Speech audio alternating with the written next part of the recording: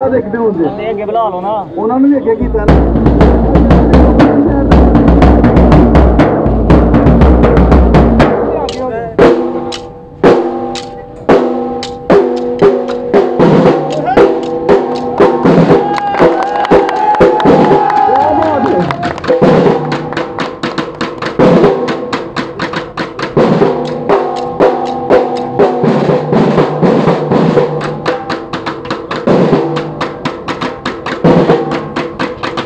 you.